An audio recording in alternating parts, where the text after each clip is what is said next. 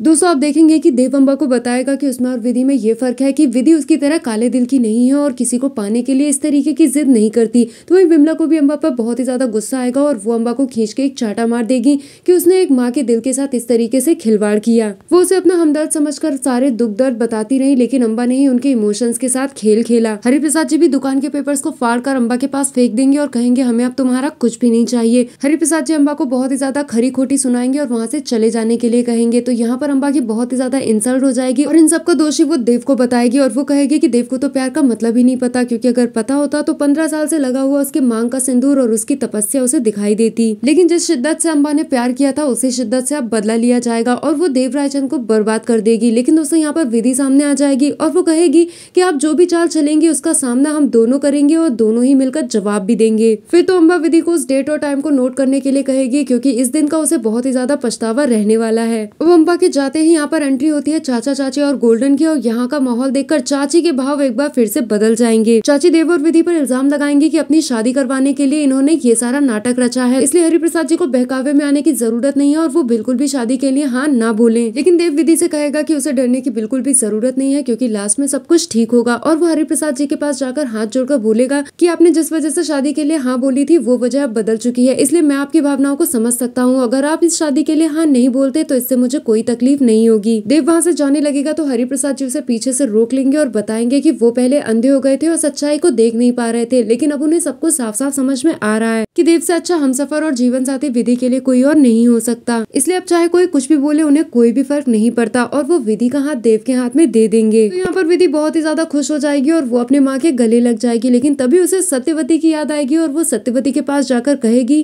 की आपकी परमिशन के बिना ये शादी बिल्कुल भी नहीं होगी। तो दोस्तों, क्विक रिव्यू में इतना ही। Thanks for watching.